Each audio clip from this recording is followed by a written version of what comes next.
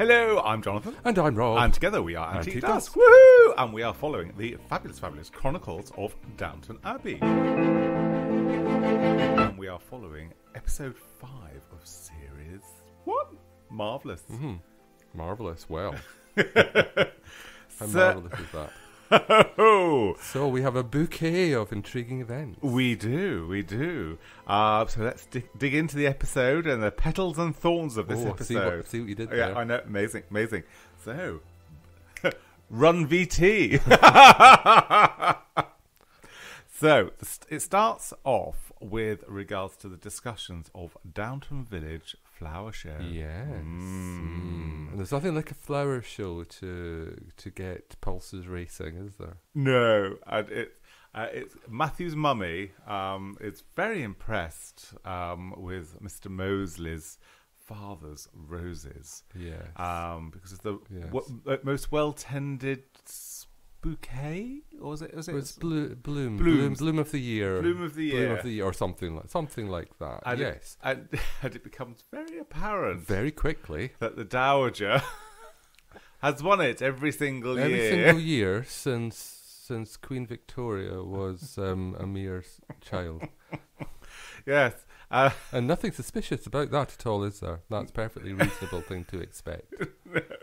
and so the dowager is questioned. Um, so, oh well, so it's best blooms. So my Well, gardens are the Yeah, best. They are. They are objectively the best because they get the prize every month, every year. every year get the prize. They must be the best. Hmm, Um, I wonder. Matthew's mama is uh, Slightly dubious. Dubious about that. That there might be some. Uh, I'm going to use some French here. Droit de seigneur. I probably pronounced that incorrectly. Droit de Senor. Droit de seigneur. Isn't Senora Spanish? Um, no. well, it is. Yes, Yeah, it's but, it's, Span- but it's yeah. also in French. Oh, right. And uh, the droit de seigneur is the is the rights that are exer- exerted by ah. by the the landed gentry, Gentry. over their over their sub- subjects. So the the the the, the, the, uh, uh, the flower show which they they host, they fund, Pay for presumably. and pay for. they and win. and, uh, and patron.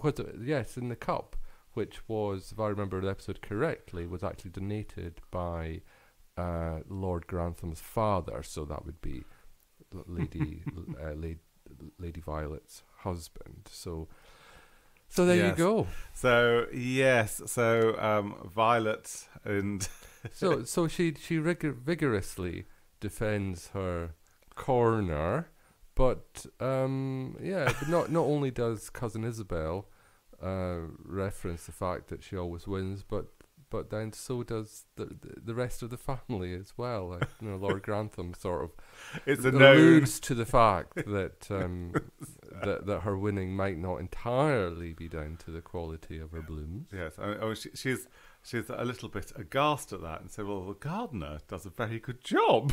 I'd be very disappointed. so, so, so, I that that is the element of uh, jollity with regards to this episode. It's So you're saying the rest of the episode is, is full of gloom and despondency. There's a lot that's going on in this. ep- Again, this is another one of these episodes where bucket loads actually happens. Mm. Oh, and there's another positive thing where Lady Sybil, after last week's wearing her Yeah. bloomers, I have to say, Lady Sybil is def- definitely coming into her own front and centre, isn't she? now, and I, I'm warming. I'm warming to her, um, definitely. So I can see that sh- her heart is definitely in the right place, unlike some of her siblings. But we'll come on to that in a moment. So I because Sybil Sybil has actually applied for a job for Gwen. Um, so and uh, without Gwen knowing. Yes. so basically, basically, what she's done is that she's she's written to someone saying, "I heartily recommend Gwen." Um, blah blah blah, Downton Abbey, blah blah blah. Yes. uh, so on and so forth. And um, yeah, Gwen gets uh, gets invited to, to an interview, but How's how's she she, going to get there? I so wonder. so Gwen has a touch of the vapors and uh, while making making a bed. yeah, so I so yeah, so Sybil and Gwen they come up with a plan, a plan of feigned illness um, Gwen. for Gwen and a feigned In- trip to uh, an elderly friend or something Or, of that uh, so nature. in, in Horse and Trap, the Yes, governor's Horse the, and the Trap. governess's um, horse trap. I can't really imagine a governess riding a horse and trap, but clearly well, it, we was- haven't actually seen a governess. I don't think that's just. No, there, well, there I- one around. No, and um, well, Sybil definitely doesn't want a governess. She made she made her views on that very plain. In the So I don't need to learn how to curtsy and speak French. No, she needs to learn to do trigonometry and um, bi- Yes. biology. And unfortunately, in this episode, there was no sign of her bloomers. Maybe they're only coming out in high days and holidays for best wear. Well, I don't think we'll ever see them again. They they were worn for their specific outing, and then have probably been Relegated. been yeah either relegated or donated to the poor. yes, I think it'd be very, The poor one. a them. very stylish poor. Reminds me of an episode of uh, Ab, Ab Fab when uh, Edina's mother donates a lot of a wardrobe, and Edina walks walks down the road and finds a homeless person wearing Vivienne Westwood basque. so, so La Croix, sweetie, La Croix. so, um, Yeah. so um, So there's a plan. So that Sybil is going to transport Gwen to her to her interview in a horse and buggy. yes, What can go wrong? yeah. So the, the horse, so they go on a horse and buggy to the local town, and uh, and say they're all sort of a jolly jape, and uh, Gwen is wearing one of Sybil's sort of cast offs. Fortunately, not the the baggy pantaloons. pantaloons, um, and sort of she goes to have her interview. You don't see much of her interview; it just seems rather stern and sort of stuffy offices with well, chairs. to be fair, not as stern and stuffy as Downton Abbey No, downstairs. no. So so she she goes along that, and on the way back, um, the horse goes lame. Yes, it sheds a sheds a shoe or Yes, shoes a shed. So lost lo- lost a shoe, and unfortunately, the local ironmongery place. The chap is in. I mean, the blacksmith. the- Yes, ironmonger as well because Well, he mungered He iron. mungered, so but unfortunately he wasn't around, so they have No, to They have to plod have to on plod on and walk back. with a very reluctant horse. Horse, and then there's like lo- so another comical moment. So the comical moments in this episode are really very good because they're they're pushing this buggy out of the uh, a muddy a muddy sort of um, lane, and the, the horse moves on quickly By, by Um, being threatened and being boiled down for glue. by Sybil. So she, she she knows how to work things. Does does dear Sybil? And they fall flat on their face with like lots of mud. Oh. But we don't actually see how they get up the stairs and. and but there's a lot of worry and consternation in the house for Sybil's uh, Whereabouts. yes, her prolonged absence is, is is being being remarked upon. But as you say, we don't see them arriving home. All we have is that, that Anna goes into her bedroom, and there's there's a rather uh, crestfallen looking Gwen. Gwen already in bed. Um, and clearly, Anna has known uh, for some time that she wasn't she wasn't ill. She wasn't ill in her bed. no. Um, but um, yeah, so she managed to get herself back in the house. Don't know, don't know about Sybil, but certainly uh, Gwen got herself back into the house without being spotted, probably leaving a massive trail of mud yeah. um, so, uh, so her. But I mean, so she admits that she's been, to a job interview. This is what I really love about Downton Abbey. Sort of, they, they, I mean, some people would have been quite lazy and created high jinks of wandering around in mud and avoiding things, but it, it's it, it happens off screen and it's just referred to in a sentence so they can get on with the story, which I think is really I love. I love that element of it because because I well, think it keeps people, it moving, doesn't it? it does. Keep- because in if this was being made in the 1970s, then we would have seen every agonising moment of Sybil and Gwen's. sort uh, of, that would have been an entire home. episode. That would, have been, that would have been an entire episode of Upstairs Downstairs. Oop, I said it. I just didn't mean to. um, of of another drama of a similar uh, subject matter. Yeah, so, I so so Gwen sort of the Gwen's storyline. She went for the job interview, and at the end of this episode, we discover that she was not successful. But never mind. Never mind. So, Never she, mind. So, so I think that's really quite good. And there's another element of levity which Gwen was involved with. Da- Daisy is feeling a little bit spooked. Daisy, the housemaid, is Yes. So Daisy, poor Daisy, she has post-traumatic. Um, well, she doesn't know what she's seen. She saw something moving. she from- something nasty. She saw Something something na- nasty in the woodshed. Well, na- something nasty in the corridor. So when the whole Mr. Pamuk situation happened, she saw something, but she doesn't know what she's actually seen, and um, she's a little bit.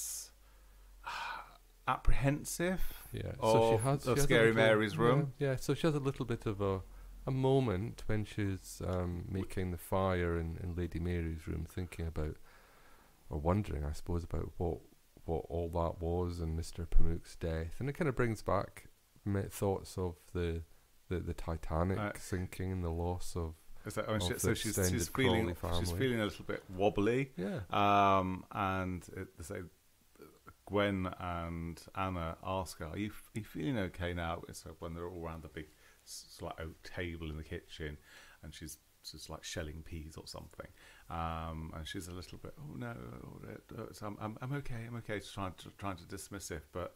Uh, always looking for a bit of gossip. Thomas asked her, and she can't resist the delights of Thomas.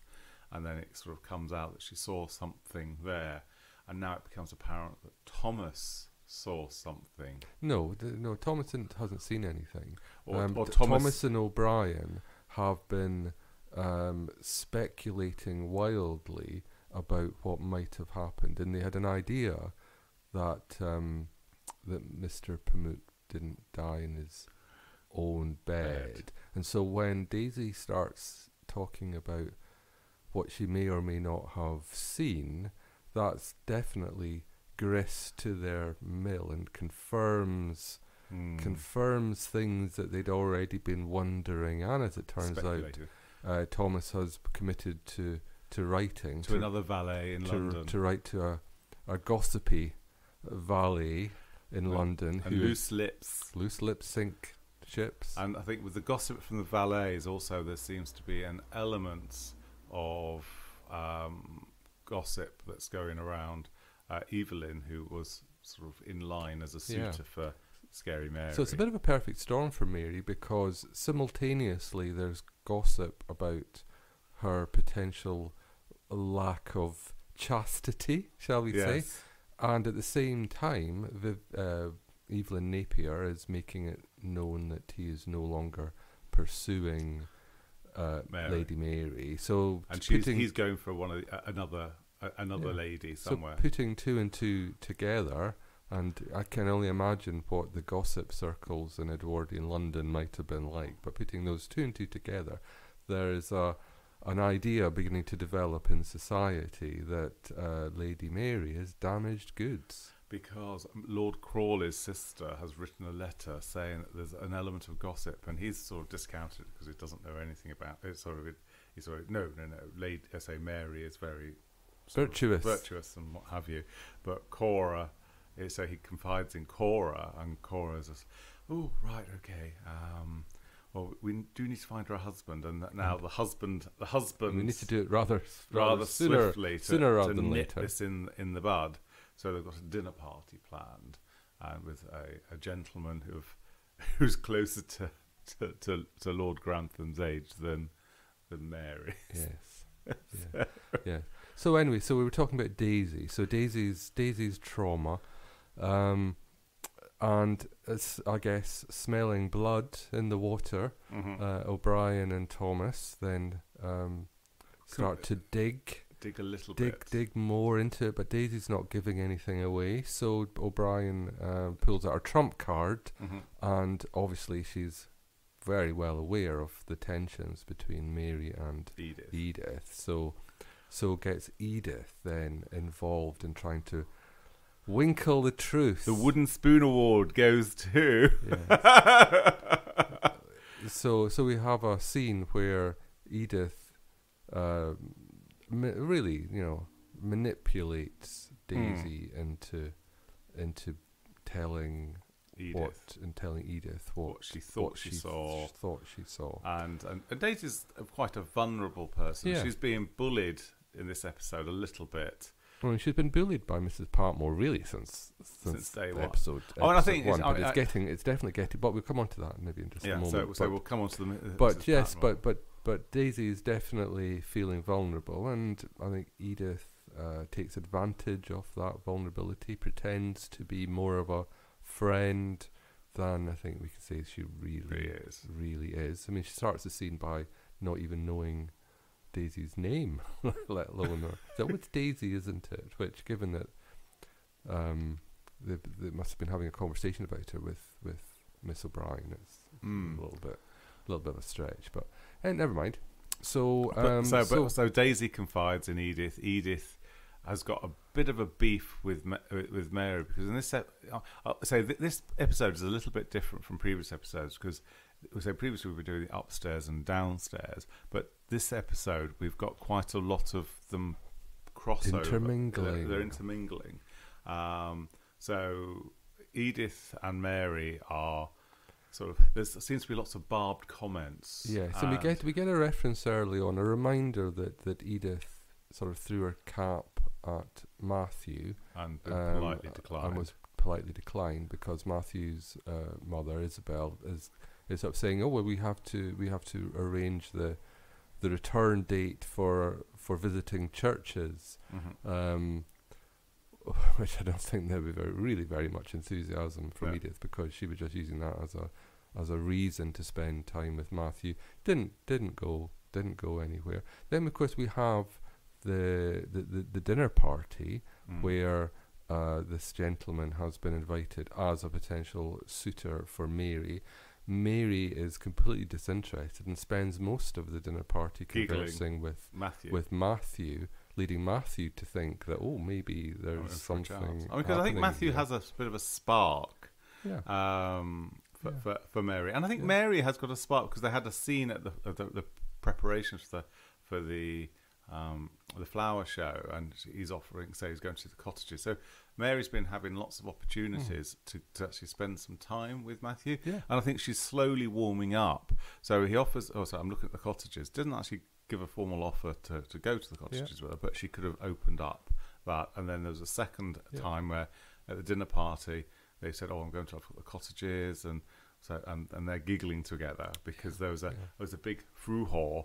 Uh, the- so the gentleman, I can't remember the name of the gentleman. It was like Lord something or other. This is antique dust from the future. Lady Mary's suitor is Sir Anthony Strallan. Um, and but he was a, a, a, one of the the posh. Our research is just phenomenal. Yeah, he, he, so we've we've recognised him from um, the TV series called Cold Feet about some yuppies in Manchester. Well, to be clear, you recognised them from Cold Feet. I recognised them from Toast of London, but Right, but that's a whole other that's, that's a that's whole, a whole other, gambit. podcast. Um, so uh, he's he's qu- quite a bore, and he's very into land management, etc. And sort of uh, sort of la- uh, sort of Lady Mary is is disinterested, but coming up with all the platitudes. And then there's a, a situation with Miss Patmore where she accidentally put salt on uh, the the dessert, which should be a sugary sort of. Yeah.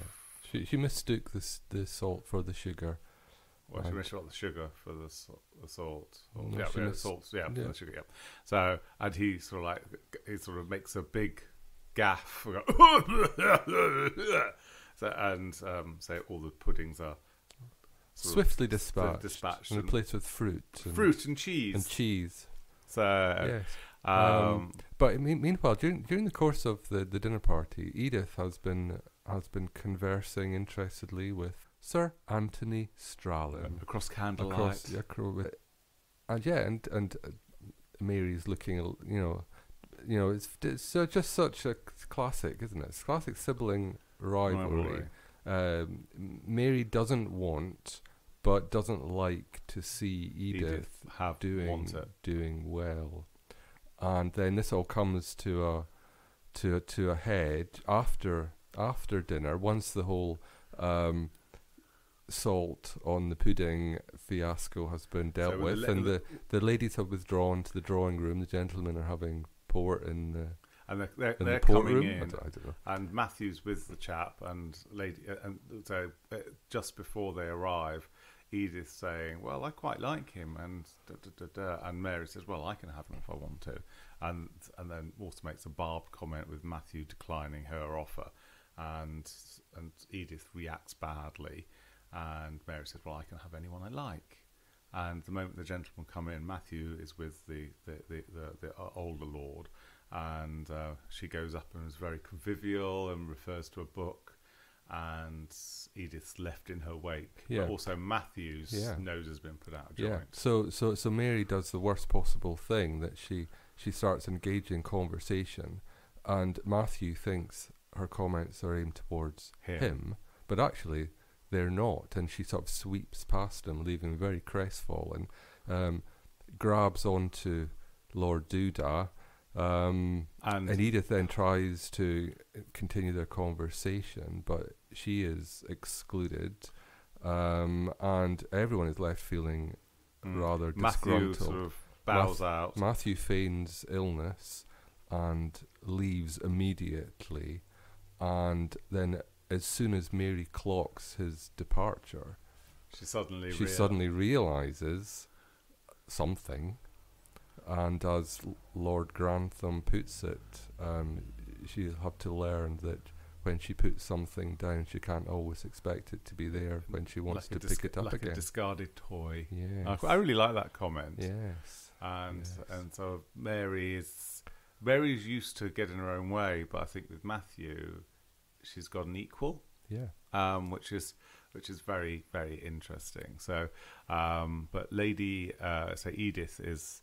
nose has been well and truly Yeah. popped out of Uh, joy. Yeah, and Edith overhears a conversation between uh, Cora and Mary, where they're actually perhaps unwisely talking r- quite openly about the whole Mister Pamuk um, incident. So whatever Mary, whatever Edith might have Suspect thought and suspected on the back of what um, Daisy said. that's now all been confirmed, and her plan to ruin Mary, Mary. uh, So she- so- comes to So, fruition. she, so we see a scene with her writing uh, a letter, and and we sort of the, the end of the uh, the end credits come with her. Uh, it's a letter to the so, so, so His the, Excellency, the so Turkish, ambassador. um, Belgravia Square. So she's that's a very silly thing for her to do. I mean, it's going to get the sort of like it's a, it'll be a, a complete smack in the right direction um, to get to get one over on Mary. However, What will the cost? but the cost of that, she's not really thought it through because it costs the family the standing, and that's just not very good. no. So I mean, that that's how that story of propelled with um, uh, Mary and Edith and Daisy. Uh, there was a nice little scene with Daisy because when so Gwen and Anna are sort of trying to sort of mother her a little bit because they're seeing how badly treated she's being by Mrs. Patmore. Mrs. Patmore is is really sort of kicking out at her um, because she's the closest thing to her and And she's an easy target. she's an easy target, and sort of, sort of Daisy's sort of, sort of slept in, and to, and they're, get, they're giving her a biscuit from um, sort of Lady Edith or Sybil's biscuit, biscuit, barrel, biscuit which jar. are, which never gets never gets eaten. It just gets thrown out every night. and, and, re- and replenished. So she's there, sort of nibbling at a biscuit, and Mr. Carson comes in. and um, uh, this is and and Gwen. This is when Gwen, Gwen, has feigned the- the illness, so she can go to her interview. So he sees her. so Gwen sat sat on the bed doing her theatrics. Um, I said, "What do you do on the bed?" And then, then looks looks at Daisy cradling Cradling cradling the biscuit barrel. I was polishing it. Well, Fortunately, see there was no crumbs yeah, coming fortunately, she she managed to swallow. She choked down the the last of the crumbs, and uh, just well, see that you But Anna takes control of that conversation because I mean Anna's a strong is a, is a strong character. Yeah, and clearly she's been in she's been in service for well probably most of her, her life, so she knows how things work. I Mhm. think she knows how people work, Work. as well. So she's she's a good person in that house to have on your have Yeah. on your side. So, um, and so, the, the, so there is that. Now, well, the beginning part of the episode, I know we're bouncing around this episode. Um, Mr. He, Mr. Bates walks in um, to Mr. Carson's sort of area and spots Thomas lifting lifting a bottle of wine. Yes. Now we know from a previous episode Two that, other bottles have gone missing. that um, Mr. Carson is um, concerned that there seems to be discrepancies in this in the cellar Mm. records, and now we know why. That that um, that he's been that- lifting bottles. yeah, Thomas has been helping himself to the Chateauneuf de Pape Yes. And the, the, the fine fine Bordeaux's from the Haut Medoc. Yes, dear listeners, we are starting our wine exams later on this this month, and uh, so Rob has been studying profusely. I've not really cracked You've not cracked open the damn the book. book. You've you've popped open a few corks, but I don't think I don't think I don't think that. I, I, I'm trying to immerse myself. yes, So- yes. last night, yesterday's sort of uh, festivities in the back garden. It's, so, dear listeners, this is we're, we're at the start of summer. It's a very English summer, um, and in Cheshire, on the Cheshire Plain, it's been very delightfully warm. Our sun-dappled garden through the pergola, entertaining friends, the clink of crockery. And sort of like Yeah. slurring of words and yeah. tripping just over. imagine, yeah, just just imagine Downton Abbey, but with more alcohol and fewer guests. and fewer guests, so, and, less, and less post-traumatic stress disorder. unless, So- the, unless the wine fridge is empty, then there's lots of stress. Yes, yes. Um, So, so we got the there's the the unanswered question. There is how much did Mr. Bates actually see, see, and if he did see enough, what's he going to do about it? so and the uh, Cora's lady's maid um, comes up with um, a little. I, mean, I was really quite surprised actually because um, what's the name of Mrs. O'Brien? Miss O'Brien. Miss O'Brien um, is sort of spots Thomas, who's skulking in the back stairs, smoking a cigarette, um, and she says, "What you so down for?" And sort of, and then he, he freely admits to her that he's been lifting a bottle of wine. yeah, but he he thinks that Mr. Bates will have clocked that, and that gives them then if they needed if they needed any further reason to get rid of Mr. Bates, Mm. that that that then um, settles the matter. So they come up with a nefarious plan To to set- frame him. just to frame Mr. Bates. Yes. So uh, Lord Grantham is missing a snuff box, a blue snuff box um, that is missing from his glass display, and uh, was asking where it's gone to. And sort of Mr. Bates, uh, sort of, oh, I, I don't know, but it soon gets back to Carson, Yeah, Mr. Carson, he makes an announcement. to the staff and say this has been missing, because everyone keep an eye out for it. Um, and then Anna, Yeah, well, Anna, Anna knows something's up. something, something's up, and uh, suggests to Mr. Bates that it might be a good idea for him check to his check room. his room. bec- Actually, says it in a really nice way. She says, "Look, I think you should check your room for it." I said, and she said, "Oh, I haven't taken it." I said, "I know you haven't, but blah blah blah." yeah, Uh, and then Mr. Bates has realised that Anna isn't isn't as innocent and naive. oh, she's definitely not She's, naive. she's definitely not naive. So she suggests sort of he finds it in his room, um, and then either plants it in Thomas's room or Mrs. O'Brien's room. I just go, "Oh, you're wicked, wicked," in, a- in a very comical way. yes. Uh, And then once, then what we then come to is that that um, Anna suggests to Mr. Carson that actually, you know what, I think you should shut She- the rooms. you know this this has all gone long enough. It's casting too many doubts upon things. Let's let's just have this search now.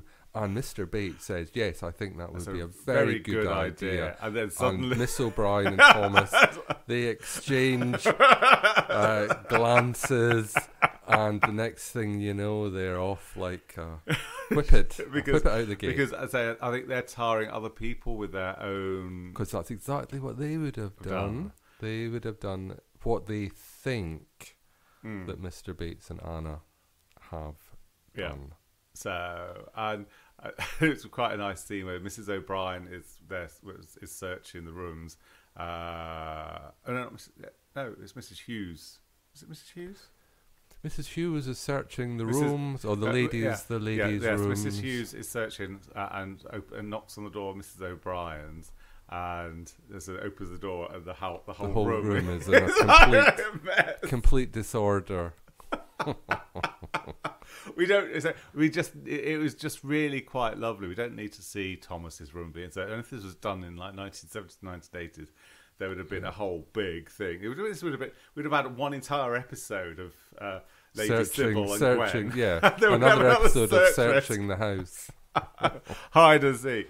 And again, this one's wrapped up off camera, where it's just uh, mentioned in the sentence. Oh, um, so Mr. Bates uh, uh, found it in, in a cupboard. It's just been put away incorrectly. Yeah. Um, and then that, that again, it just wraps it up Yeah. really nice Yeah. and succinctly. And then when they're traipsing to the to the flower show, then uh, Mr. Bates and Anna just have this little bit of a conversation, where Anna sort of says, "Oh, What are you hiding? why why didn't you put why didn't you put the um you know why didn't you put the snuff box in the room?" So well, says it's enough that they know they know We know. that we know, and that's that's sufficient. But then they also then have, as you say, a little bit of a conversation Yes. about So what are you Um, hiding? yes, And Mr. Uh, uh, and Mr. Bates says, uh, so, uh, sa- says it, it's something quite large, and it's not something I'd like to to share.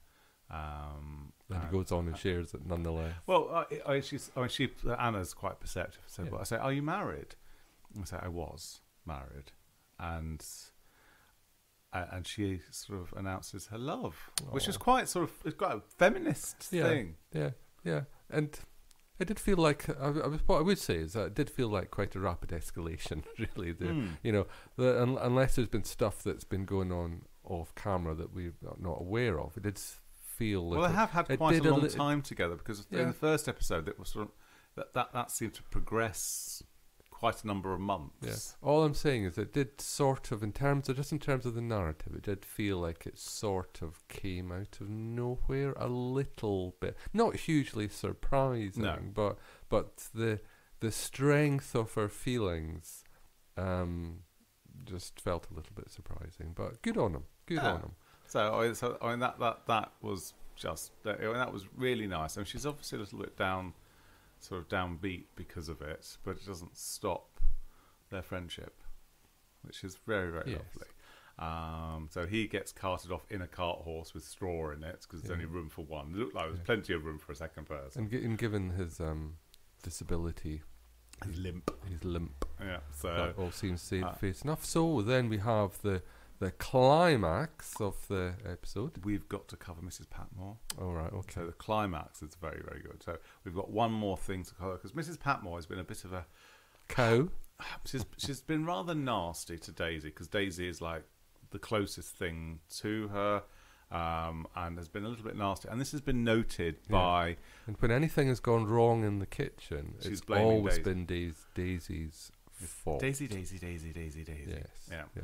And um, So so we, we see the start when when the, the um, when the dinner party is being planned. Um, Cora, Cora comes down with a, a recipe for an apple charlotte, which um, uh, Mrs. Patmore has never made an apple charlotte. And actually, you need to do it in a special pan, so we don't even know whether they would have they would have a charlotte pan in the in in the kitchen. But anyway, uh, Mrs. Patmore is very very uh, Reluctant. reluctant uh, to to do something to do something new, and you might well think just well maybe she's just a bit of a stick in the mud. and you can and understand that. I she say like Cora picks her battles yes, appropriately. she so- backs down. I mean, Da- on Daisy says, "Oh, well, I can read the recipe too," because obviously Daisy knows something is potentially Yeah. there. Yeah. So I can read the recipe, and that, that, that that's that sort of makes Mrs. Patmore even more cross, and she goes for it. And then Cora doesn't want to get to create more drama, or she doesn't want to be a witness to the drama, so she backs down very gracefully and said, "Oh, don't worry." So they say, "So maybe next time." Um, so we have that one incident, and then there's an incident with one of the grouse that has been been cooked, and it sort of falls on the it falls on the ground. and, ground. and again, Mrs. Patmore blames Daisy, and Daisy was nowhere near her. yeah, yeah. And again, so does, but to be fair, it just gets a little bit nibbled by the kitchen cat. So it was, it was, it was definitely rescuable. So Once, once they've beaten the cat off with a stick, they, then they dusted it down, shoved it back on as it was served. and just pop a bit of parsley over the bite marks, they'll be fine. No one will notice. Um, and then that's when we have the issue with the meringue and The the, salt. salt. going on the meringue, and that gets sent down. Uh, Mrs. Patmore then again tries to blame Daisy, Daisy. for moving things around. and, And, I say and there's a lot on. of people downstairs in the in the thing. And Yeah. Mr. Carson. But Mr. Mr. Carson's not falling falling for it. He knows that there's something more yeah. significant up. So they've quite a touching. Have a cut touching touching scene. scene. Everyone leaves the kitchen except for Mr. Carson and Mrs. Uh, um, Mrs. Patmore, and they uh, she admits her sight has been failing her Hmm. um, because there's many things that she she can remember a recipe. Yeah. So she's been focusing on. She knows. She knows her way around the kitchen. She Mm. knows where things are, and she knows the recipes that she knows.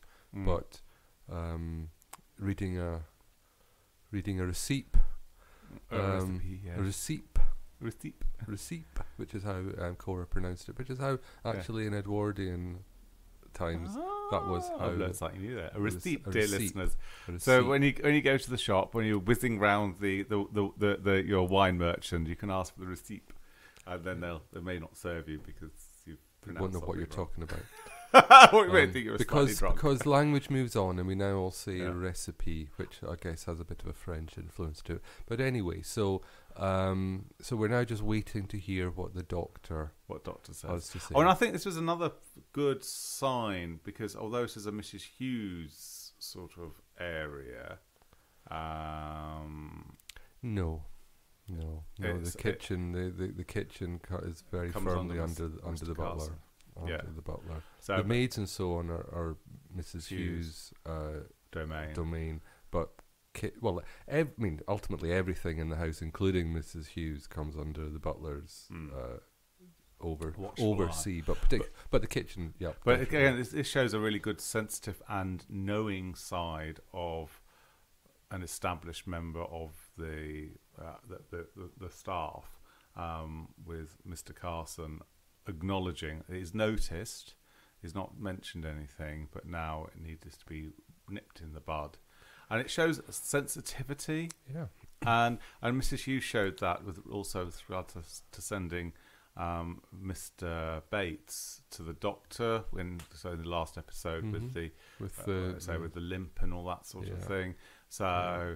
yeah. Uh, so I, it does show that there was a, there was caring, and there was although there wasn't a national health service uh, around at that time, and doctors cost money, but it was the responsibility of the the house Hmm, to yeah. Yes. the costs and the well-being. yes. Of course, Mrs. Patmore's concern as well. What good is a cook Who can't see? who can't see? It probably just needs a pair of glasses. Well, we shall We- find we shall out. find we shall out find out another in, in due course. But the very final piece of the um, uh, the episode, which so the, the levity, and they did balance drama with comedy really well, and um, the dowager is there announcing the winners of the said flower show. And it comes down to the best blooms in the village, Yes, and so- sees her name, yes. and This is after being tr- heavily hinted by everyone, including her son, that that she perhaps ought to release the judging committee from any sense of obligation, Obligation. to award her the bloom, but uh, the the award for the bloom, but, But clearly, she, uh, but she uh, then sort of uh, sort of ignores it. So there's a little bit of a moment, and then she announced Mr. Molesley Senior wins um, the, the, the, the, the the, cup. the cup, and he is very taken aback because he wasn't expecting to win. Um, so. And they didn't have just participation awards then, did they? no one, not No. everyone gets a cup. yeah, Um, you get a cup.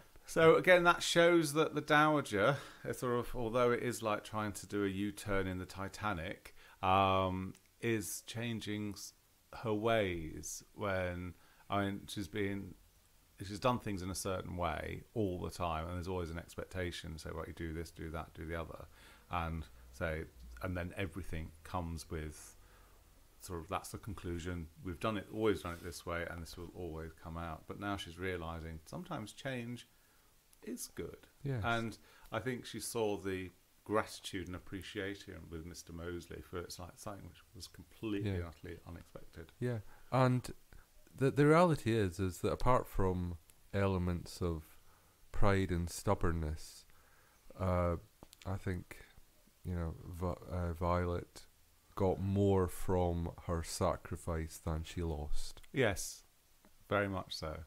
Uh, although she, she she did cling onto the cup a little bit longer than needed. Yeah, yeah. It did have to, there were, yeah, it did have to be a little bit prized out of her, oh, it's a lovely out ad. of her hands. but over overall, I absolutely adored this episode. It it's a, a lot happened, and I think it was really nice because previous in the previous episodes, it's been like the run up of the characters of the house. So it has been very much upstairs and downstairs, but now it's there is a lot of enmeshment. So. Yes. So this uh, might reflect the structure of our podcast Moving going forward. It might not because we're very fickle we're very fickle. and we do such little research that is very much off on the on the fly. but I am really, I, I'm so loving rewatching Downton. Also, I, I'm on a Downton thread in on the Reddit forum, and uh, there is a documentary series on Paramount. I need to seek out, and it's about the Dollar Princesses. Oh, Um, so, which is based around the backstory. Well, it's, it's not all based on Downton, but it's it, it, it's it's where the motivation comes from the Cora character, Yeah. Uh, and and sort of the backstories of that. So, I'm sort of quite intrigued to go and sort of seek that out. Mm. Anyway, dear listeners, what did you think of episode five of series one? do you want to tell us? do you want to please do tell Please us? do tell. Inbox us. Please like, follow, subscribe, buy us a coffee or something. Yes. Uh, and, and and you can now uh, watch our podcasts on on YouTube. YouTube, audio only, so you don't actually have to look at us. But but as an alternative way, you can you can find us find out the Antique Dust channel on, On- YouTube. And we're on all major social networks uh, at uh, Antique Dust, so please do feel free to inbox us. We would love to hear from you. So it's me, Jonathan, signing off. Farewell. And it's me, Rob, saying goodbye. Bye-bye. Bye.